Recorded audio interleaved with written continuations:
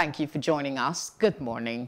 This is Off the Press on Plus TV Africa, where we take a look at the headlines, making the rounds and try to make a sense of it. Today, I'm joined by legal practitioner Dele Farotimi. Thank you very much for joining us. Thank you for having me. Good morning. Good morning. We'll start with the Punch newspaper.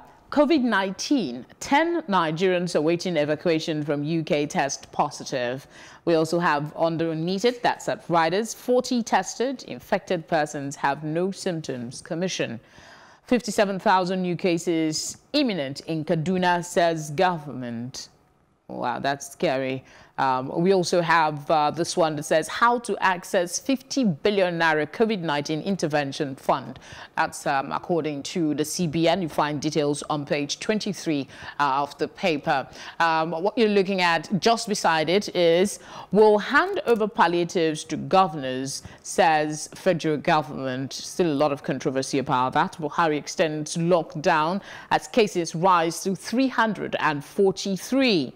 IMF excludes Nigeria from 25 nations granted debt relief. You find details on page 25. We have uh, more headlines here.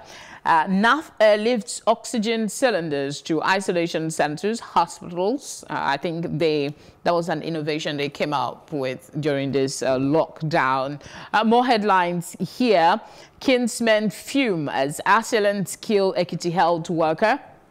I'm ready to cure five COVID-19 patients free. That's according to our professor. Uh, details is on page 17 of the paper. We have more headlines here. Osun councillor using Facebook to attack Oyetola arrested. Uh, Kwara alleges opposition's plot to incite residents. Police arrest 130 hoodlums over Lagos attacks. No single case of robbery recorded. That's the police speaking Ogun PDP crisis deepens. Uh, Kashimu back chairman suspended. Um, Dele, let's come to you. Uh, which of these headlines would you want to uh, bite into? It's like having a litany of bad news now, isn't it? unfortunately. Um, they do say nothing sells like bad news, but when one is the continuous recipient of cascades upon cascades of bad news, it becomes really difficult to begin to wrap one's brain around. But a few items jump to mind, and I'll speak specifically to the security situation, not just in Lagos. You know, where in Lagos, it's pretty easy for people to whip up their, their smartphones and then record the scene and post it up on social media. So it gets all sort of airplay and everybody knows that what the, the police spokesman has just said is complete bunkum. And that is, I'm, I'm watching my language because we're on TV. And the point is, is he asking us to disbelieve the evidence of our own eyes? One of my friends, Etu, he lives in Santos layout, somewhere around uh, Akowonjo axis there. Day before yesterday, he was stuck outside his home and he couldn't enter his home for quite a while. And I doubt he was able to move out throughout yesterday because the entire Santos layout was besieged. A lot of people living in Lagos live in fear right now. So let's not even be talk. This one that he just said, he show, and then to even imagine that the president spoke extensively yesterday, but he didn't even address the security situation. And the police spokesman is now coming out to even deny that. Even so, we really have issues. I, we spoke to a commissioner earlier in the news today, okay. and he talked about the fact that it's actually cultism and banditry in the Ogun State axis. Uh, that's more uh, to the problem right now, an escalation. See, before you can solve a problem, you must first of all, at the minimum, acknowledge that you do have that problem. I'm afraid to say that that police commissioner, frankly speaking, does not know what he's saying if he has said that. So what if it's cultism? When we were in the university, it was always about cultism. They say, oh, they were caught. Whether they were caught or not, they committed crimes. So these ones are cults. All of a sudden, cultism has escaped from the higher institutions, is now on the street, everybody on the street. The excuse for their madness is now cultism. What about all the crimes they are committing? How is that a catch-all phrase for impunity? Okay, let, us look at the IMF excluding Nigeria from 25 nations granted debt relief. Aren't we eligible, don't you think? Why should they be giving rich people what is intended for the poor? They know us better than we know ourselves. Cameron said a few years ago, he said Nigerians are fantastically corrupt. That's, a, that's, that, that's something we need to pay attention to. He didn't just say we were corrupt. He said fantastically. What was fantastic about it is that they could see what we, the citizens, are not seeing. The monies are not kept in Nigeria. The IMF have a very clear understanding of just how much of our money is stashed around in banks all over the world. So why would they treat us like they would treat a country like Mali or Togo? They know us. They know how many private jets were flying. They know the direction of luxury goods. They know how it flows into our country. They are aware of who we are. They are not poor and they know it. So why should they be handing us what is meant for the poor? Are we so poor we spent 37, we just voted 37 billion to renovate a building. We are so poor that each and every member of our legislative houses is riding in a luxury car. Are those poor people?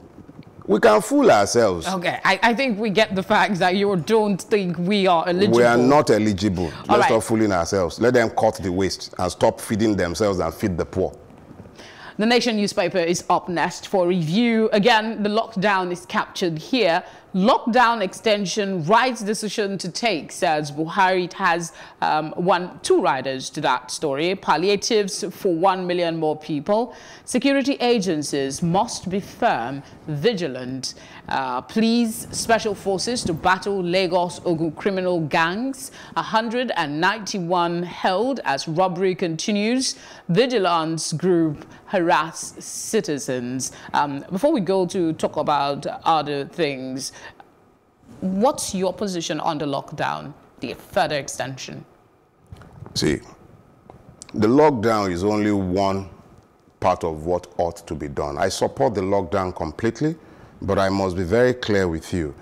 You don't say that you're going to take one out of a raft of options that should include perhaps maybe about four, five different things to be done. So you do only one thing. Our president and the leaders of this country, they appear to be carpenters who have only one tool in their kitty, and it's just the hammer. All they know how to do is to hammer. Okay, so now you've locked down. Has anybody considered the fact that the bulk of our countrymen and women live in a subsistent manner? Uh, the, I mean, he announced what some palliatives? palliatives? Are we now a country of almajiris ruled by emirs? One million people. How many are we? Who gets to decide who gets the one million? Who, are, who makes up that one million? The distribution of the last spending that we saw is so scandalous that they should even be ashamed to be talking about these things sometime. We are in a mess and we need to sit down. Get, every time I get asked, what's the solution? The solutions are glaring. We are just the ones who keep dancing around the issue. What are some of these solutions? We need to completely overhaul our systems. When people hear that, the first thing that pops into mind, revolution. Okay. Fact of the matter is that some of the things we have to do in relation to our country is completely revolutionary, but they don't have to be violent. All we require is political will on the part of our leaders. Let them come to the point where they understand that what they are doing is not sustainable. Is not. Sooner or later, the people will revolt. It's already happening. The unfortunate part of the whole thing is that nobody has offered them any alternative. So what you will find, look at what the president said, special forces will be drafted. The system always emerges stronger from the crisis that it enables. So the special forces will come out, the poor persons on the road that are crying for legitimate reasons, they will be slaughtered as examples to others, and the rest will stay inside their homes hungry. So the system will not benefit from any, the people will not benefit, but the system will grow stronger. All right, let's, let's see what The Guardian has this morning. Uh, danger looms as Buhari extends lockdown by 14 days. IGP deploys intervention squads to Lagos, Ogun. We also have, we've identified 92% of contacts built two labs, says SGF. Also on the front page, we see armed youths ready to resist attacks by robbers um, in Egbeda area of Lagos. Stakeholders split over OPEC reduction of oil output. Uh, Nigeria will make extra 1 trillion naira, says Sylva, while federal government may not benefit much from the decision. Still on the front page uh, where you have those shiny banners, blue, red. Uh, the blue one has, uh, I have COVID-19 cure, just provide five victims, uh, Don tells federal government. Uh, I, I want to take your thought on that. Internationally, from what we have read, the standard is you, you identify, you do lab, clinical, and then you do further testing. And this takes quite a number of um, um, uh, months, uh, to say the least. And the best hands are working on this.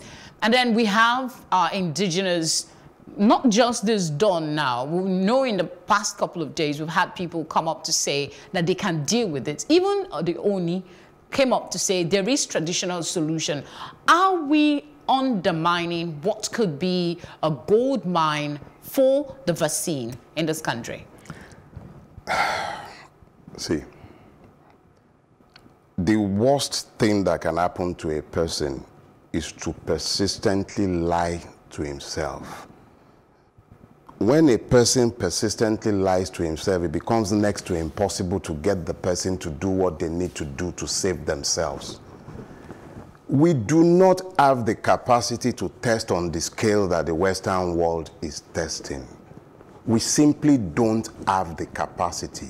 The total amount of testing that has been done in Nigeria from, from the, for the last two, three weeks I am not a scientist. I have confessed. I'm even a retired lawyer now. I merely write.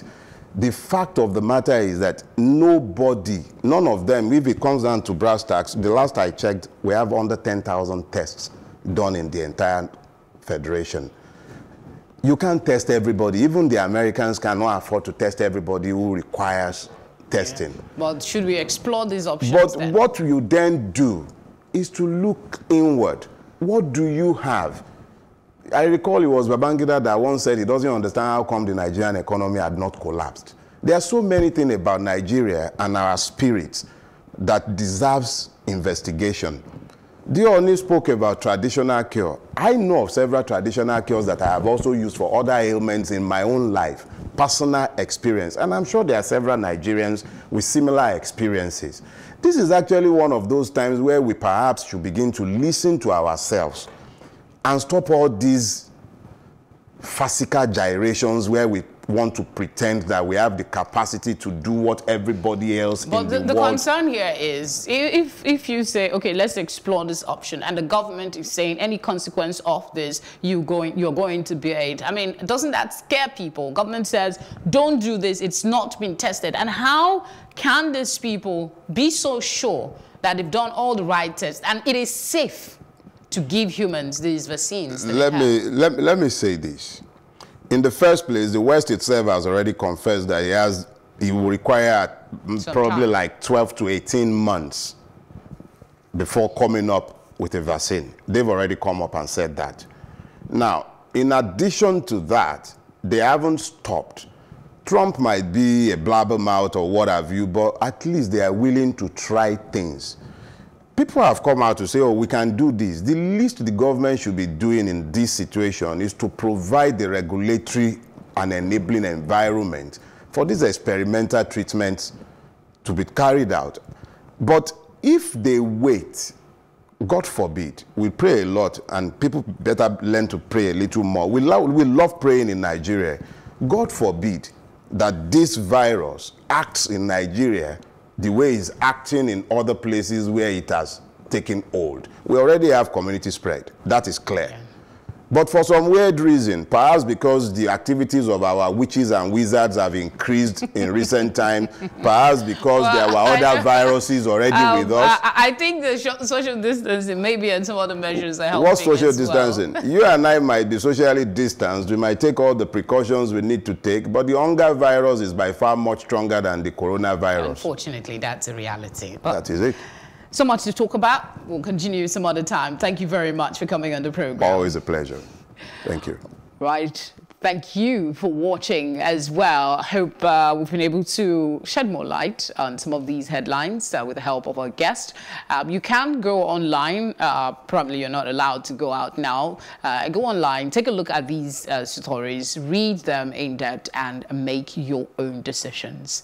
Thank you one more time. My name is Felicity Ezewuike. Please be well.